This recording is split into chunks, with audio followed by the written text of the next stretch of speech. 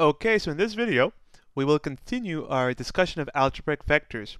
And the key from the previous video was that algebraic vectors, or vectors for that matter, are points, and at the same time, points are also vectors.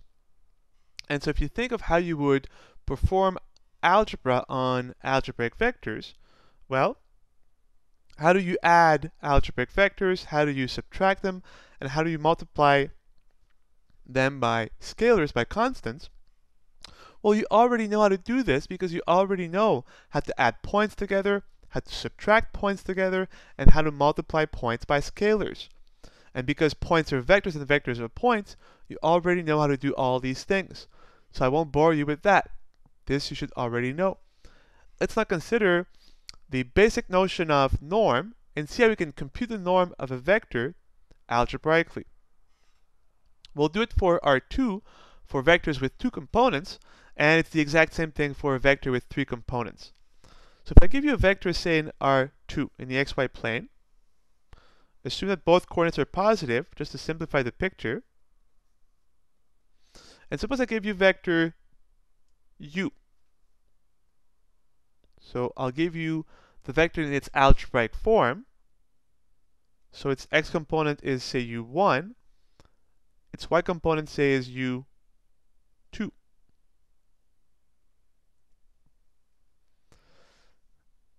As always, if you give me a single point in the plane, I can view the point as a point or also as a vector whose terminal point is this point, but whose initial point is the origin. By connecting these two, I can form the vector, say, u. And again, in terms of its coordinates, the x component of the vector is u1, and the y component of the vector is u2. If you recall, the norm of u is just the length of vector u. The norm is a synonym for length. And the question is, how do we compute the norm of u algebraically? Look at the picture.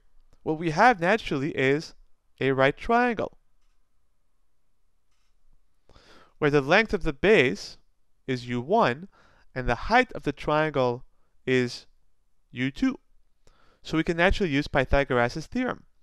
The length of the vector u, the norm of u, is simply the hypotenuse of the triangle.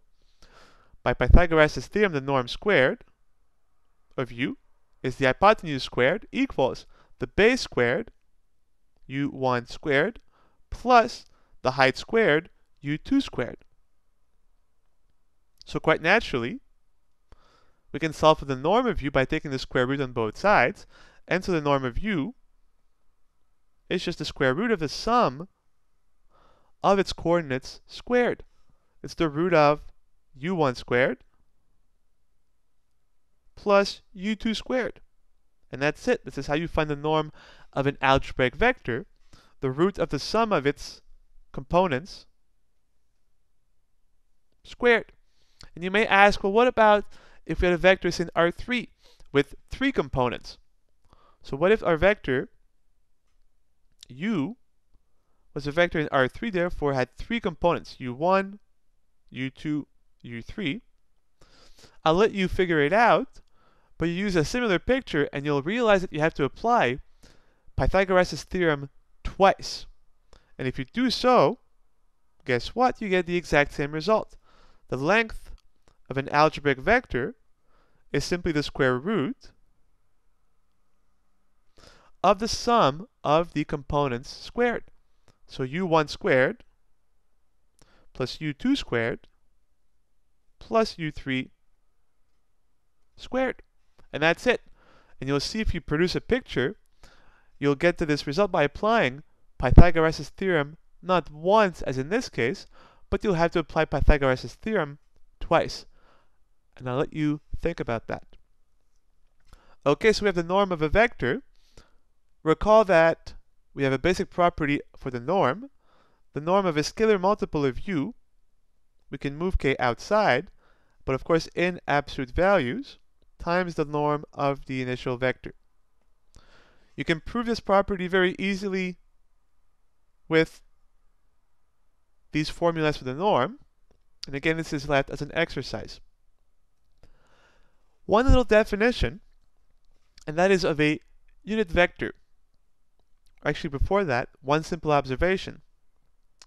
A vector can only have a length of 0 if and only if, well, of course, vector u is the 0 vector. Any other vector than the 0 vector will have a positive length, so a vector can only be the 0 vector if its length, if its norm is 0. So this is really just a simple observation. Now, this is a little definition. We see that a vector u is a unit vector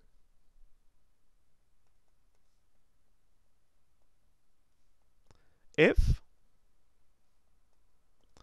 well think of it unit means 1 so u is a unit vector if its norm its length is equal to 1 so a unit vector is a vector whose length is 1 a natural question to ask is given a vector how can we naturally construct a vector in the same direction whose norm is 1? So a vector that is a unit vector, but has the same direction as the original vector. Think of the following problem. Suppose this is vector u, and suppose the length of vector u was 2. Well, you can naturally form a vector that is in the same direction as u, but now whose length is 1 if you, of course, do 1 half of u. This is a vector that is in the same direction as u, but whose length is a half the length of u, therefore whose length is a half of 2, which is 1. Well, what if the norm of u, say, was 3? Well, you would multiply u by a third, And again, this vector would be a third times, a three times shorter than vector u. Therefore, the length of this vector would be also 1. What if the norm of u, of the original vector, was say a quarter? Well, if the length of this vector is a quarter, you would multiply the vector by 4. And now for u would be a vector whose length is 1 right? If the vector is of length a quarter, 4 times the vector will be of length 4 times the length of the initial vector. And of course, you'll get 4 times a quarter, which is 1. So hopefully you see the pattern here. If you have a vector, and you want to build a vector whose direction is the same, but you want a length of 1, you must divide by the norm. 1 over 2, 1 over 3. 4 is 1 over a quarter. So if you divide a vector by its norm, the direction stays the same, but the vector becomes automatically a unit vector. So this is a little result, but sometimes very useful. So if we have a non-zero vector, so if u is not the zero vector, then 1 over the norm of u times the vector itself is a unit vector.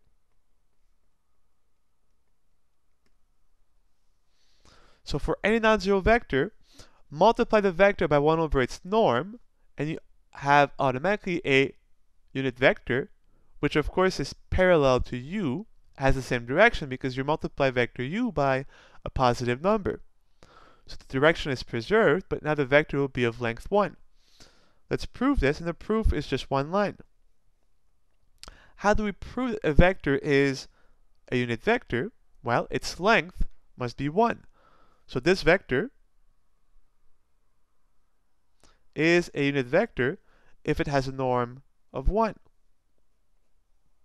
Well, property of the norm. We can move constants outside the norm and put them in absolute value, but of course the norm itself here is positive, so we don't need the absolute value. We'll get 1 over norm of u. Now we've moved this outside, and we're left with the norm of u. But norm of u over norm of u,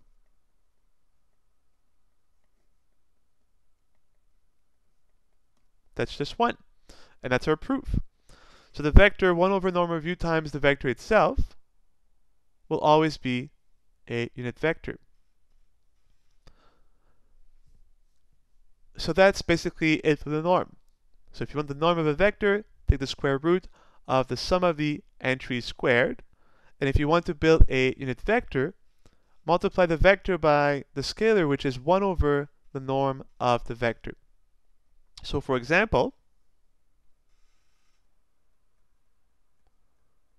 what if I gave you vector u, which was 1, negative 3, 4, and I said construct a vector that is in the same direction as u, but of unit length, all you need is the norm of u, and that is the square root of 1 squared, which is 1, plus 3 squared, which is 9, plus 4 squared, which is 16, and all you have is the root of 26.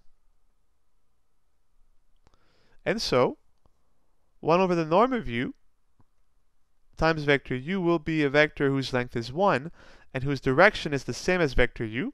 And that vector is 1 over the root of 26 times 1, negative 3, 4. You can leave this like this, or if you want, you can multiply through each coordinate of the vector by the scalar 1 over root of 26. This will give you 1 over root of 26, negative 3 over root of 26, and 4 over the root of 26.